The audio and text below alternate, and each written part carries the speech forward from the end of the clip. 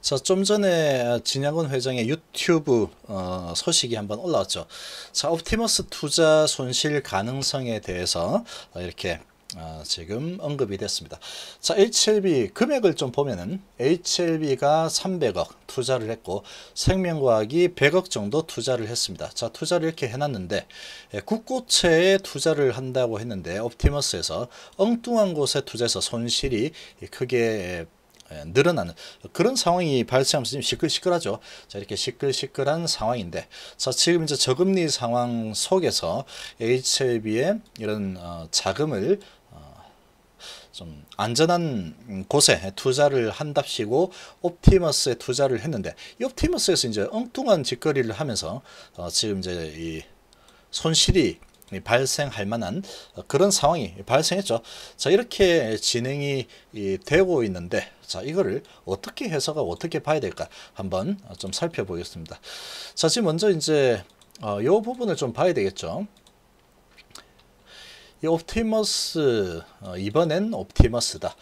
어, 환매 중단이 되었고 현재 환매 중단 규모만 5,500억 어, 후폭풍이 거슬 전망이고 어, 지금 라임 펀드 사태 이후에 최근 불완전 판매 논란이 되고 있는 상황인데 옵티머스 지금 뭐가 문제냐? 안전한 국채 투자를 한다. 자 그래서 이제 이 국채 투자 하는 게 아무래도 이제 이 저금리 은행에 넣어 놓는 것보다는 낫겠다. 이렇게 생각을 하고 어, 이 옵티머스 펀드에 투자를 한 거겠죠. 자 그렇게 투자를 했는데 어, 지금 보니까 환매 중단 보고를 하고 지금 사기 혐의로 어, 판매사 연합이 옵티머스 자산운용 임직원을 어, 사기 혐의로 겸찰에 고발을 했습니다. 자, 이 판매사를 통해서 HLB니 판매사 쪽에 돈을 맡겼고 뭐 이렇게 진행이 된 거죠. 자 그런데 이 내용을 보면은 어, 연장 신청을 했고 어, NH 투자증권, 한국투자증권 어, 이 NH 투자증권이 217억 상당의 이런 부분 그리고 한투도 어, 167억 정도 팔았죠. 자 지금 문제는 여기서 그치지 않고 어, 펀드 환매를 계속 도래하는데 과연 가능할지 어, 의문이다. 이렇게 지금 전개가 되고 있습니다. 전체 사모펀드 자산이 5,426억 정도 되고 되고 있고 이 중 NH 안투가 판매한 어, 지금 사모펀드 만기 도래가 4,600억 정도 어, 달하고 있죠.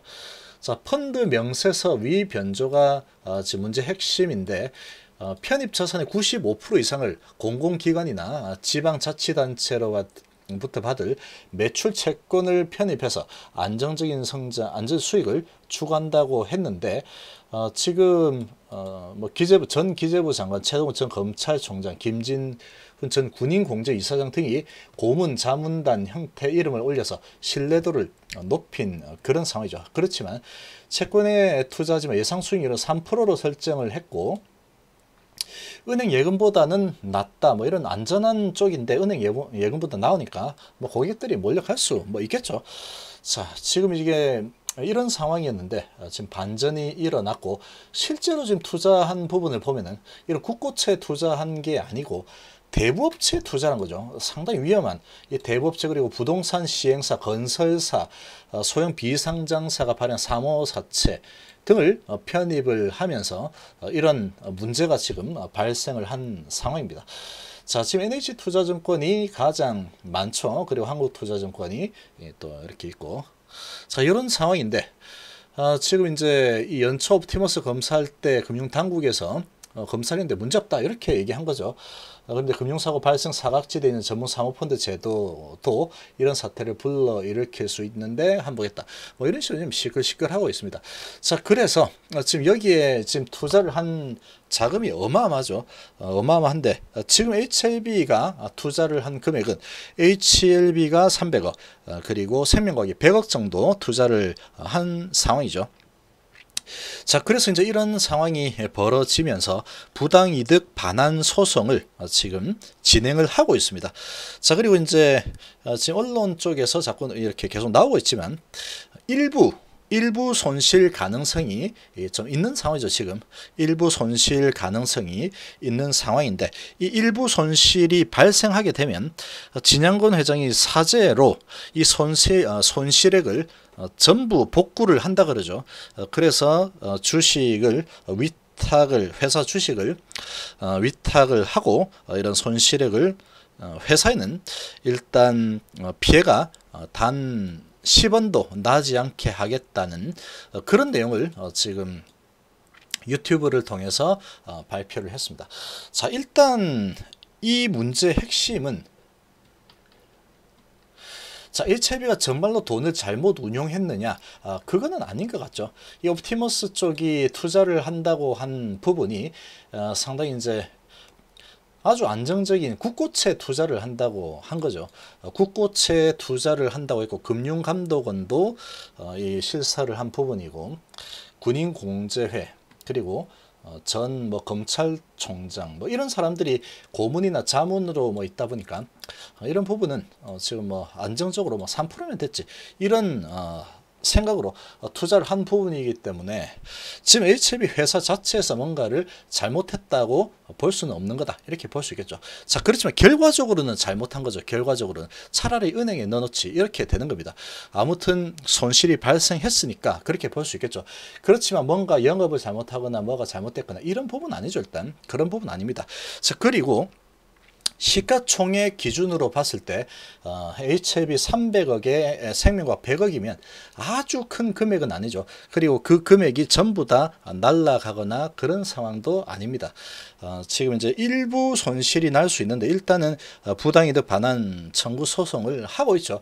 자 그렇게 소송해서 어, 돈은 회수가 어느 정도 진행이 될 겁니다. 자 진행이 될 거고 어, 그러나 어, 그럼에도 불구하고 어, 손실이 어느 정도 발생할 가능성이 있죠. 지금 분위기를 보면. 자, 그러면 이런 손실이 발생했을 때 그 손실은 진양군 회장이 내가 결정했다 그 이유로 어, 본인의 사죄를 어, 털어서 이 회사 쪽에서 어, 지금 이 결정을 내려서 회사가 손실 본 부분에 대해서 내 돈 들여가지고 다 복구하겠다 이렇게 얘기를 하고 있죠. 자 그렇게 본다 그러면 HLB 회사 자체적으로 손실을 보는 부분은 제로입니다. 제로. 어, 제로죠. 어, 제로인 상황이기 때문에 예, 회사 자체적으로 봤을 때 예를 들어서 300억 정도 HLB만 보면 300억 투자를 했는데 여기서 이제 뭐 어쩌고저쩌고 해서 어, 뭐 한 50억 정도 못 받는 상황이 발생했다. 그러면 그 돈을 어, 진영원 회장이 사재를 털어서 회사 쪽으로 어, 집어넣어서 복구를 하겠다는 어, 그런 이야기죠. 어, 그런 이야기이기 때문에 어, 이런 부분이 회사에 큰 피해를 준다거나 그렇게 될 가능성은 제로가 됩니다. 제로.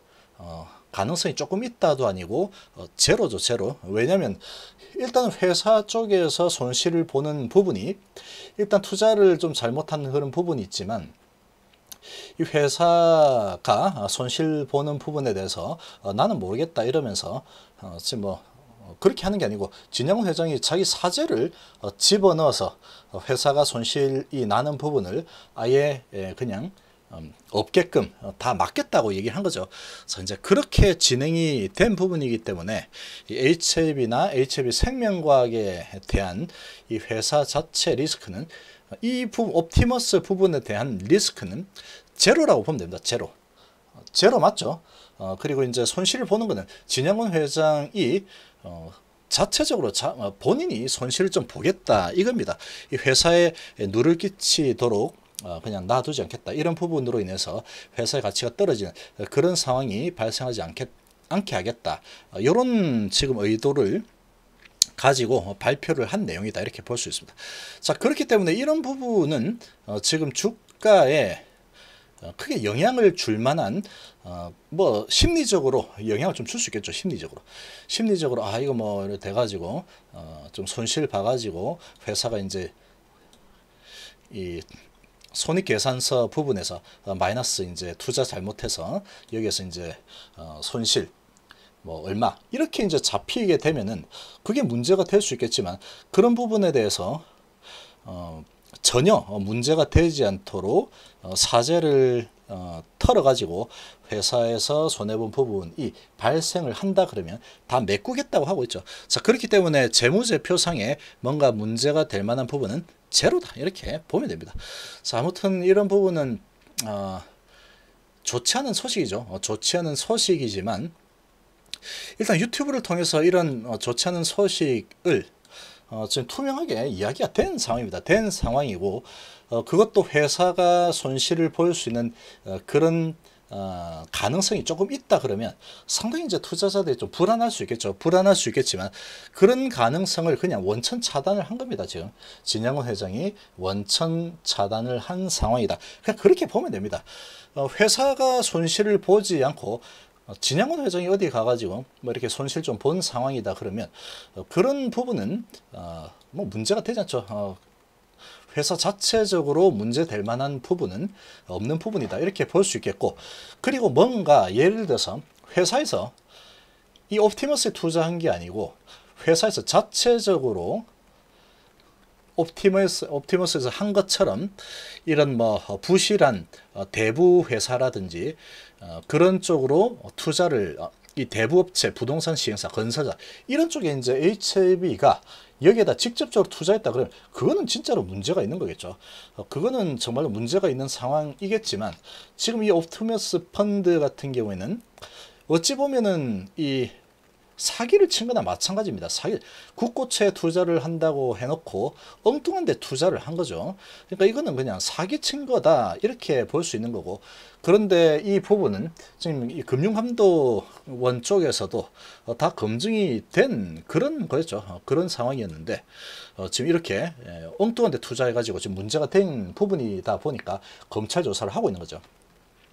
자 그렇기 때문에 HLB 자체적으로 어, 투자를 엉뚱한데 한 상은 아닙니다.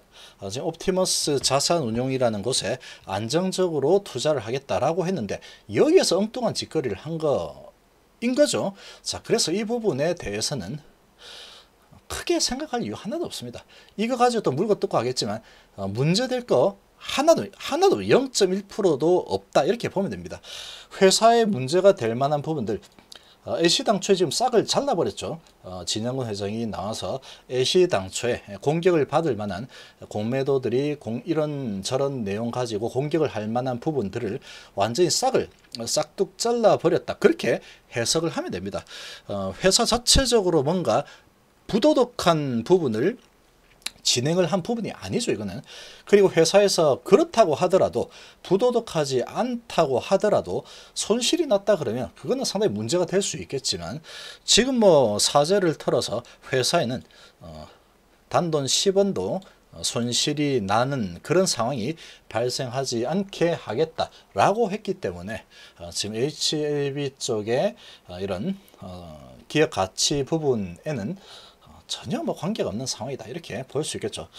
이, 그렇게 보면 됩니다. 그래서 이거는 어, 지금 본질적인 부분에서 완전 좀 동떨어져 있고 어, 그리고 실제로 손실을 봐서 HIB나 HB 생명과학이 이런 부분 투자 잘못해서 손실이 났습니다. 그러면 에이 또 손실이 났구나 좀 잘좀 투자지 이렇게 할 수 있겠지만 보통 이렇게 이런 일이 발생할 수 있죠. 어떤 회사든지 발생할 수 있는 겁니다. HD뿐만 아니고 어떤 회사든지 발생할 수 있겠지만 이런 상황이 발생했을 때 회사 쪽에 이런 재무제표를 이렇게 해서 어, 좀 어, 우리가 잘못한 게 아니다. 옵티머스가 잘못한 거 맞죠? 옵티머스 잘못한 겁니다. 그렇기 때문에 여기서 손실이 조금 날 수 있지만 300억 투자해서 뭐 280억밖에 못 받았다. 그렇게 뭐 될 수는 있겠지만 그런 부분까지도 어, 책임을 지고 어, 사죄를 털어서 회사에는 어, 전혀 문제가 되는 손실이 날 수 있는 그런 상황을 원천 봉쇄하겠다.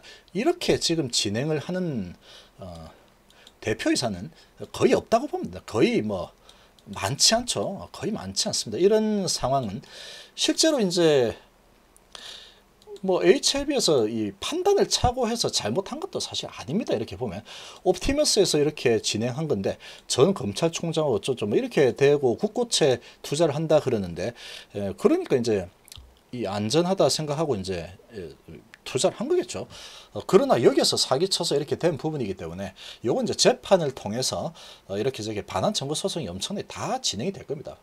어, 그래서 이제 그렇게 진행이 될 거고 이 금감원 쪽에서는 금융 당국에서는 이 부분에 대해서 자유로울 수 없을 겁니다. 여기에서 어, 상당히 많은 부분 어, 책임을 질 가능성이 좀 크다 이렇게 좀 보여지고 어, 그리고 이제 그럼에도 불구하고 어, 좀 손실이 나게 되면 그거는 내가 사재 털어 가지고 어, 메꿔 놓겠다. 자, 그렇게 진행하는 어, 대표이사는 거의 없다라고 봅니다. 그렇게 보면은 어, 회사 측면에서 봤을 때 어, 손실이 본 어, 보거나 하는 부분은 어, 전혀 없다 이렇게 볼 수 있겠죠. 어, 그래서 이제 투자 심리를 어, 조금 이제 아, 이렇게 됐구나 뭐좀 이렇게 될 수 있겠지만 내용을 잘 살펴보면 어, 보면은 이 본질에서 상당히 벗어나 있고 실제로 회사가 어, 뭔가 손실이 될 가능성은 일단 제로가 된 상황이다 이렇게 에, 이해를 하면 됩니다. 그리고 이제 곧 어, 하반기죠. 하반기로 들어가게 되면은 이제 에, HL을 투자하는 부분은 리보세라님을 보고 어, 투자하는 게 거의 뭐 메인이죠. 어, 그렇기 때문에 그런 본질적인 부분만 바라보면 되죠. 그리고 이제 약간 좀 문제가 생겼지만 이런 부분 어, 회사가 어, 부도덕해서 그렇게 된 부분은 아니다. 이게 중요한 부분이고 그럼에도 불구하고 손실이 날 만한 부분을 어, 대표이사가 내가 잘못 판단한 거기 때문에 내가 책임을 지고 그 돈 다 메꿔 놓겠다라고 했기 때문에 어, 지금 회사가 손실이 나게 되면 주주 입장에서 상당히 에, 좀 문제가 있다 이렇게 볼 수 있겠지만 어, 그런 부분도 어, 다 메꿔 놓겠다 이렇게 됐기 때문에 이런 부분은 크게 너무 악재로 크게 생각할 필요는 없습니다. 회사 전체적으로 악재가 될 만한 부분은 전혀 없는 상황이다 이렇게 볼 수 있겠죠. 자 이번 시간 정도로 마무리하겠습니다. 감사합니다.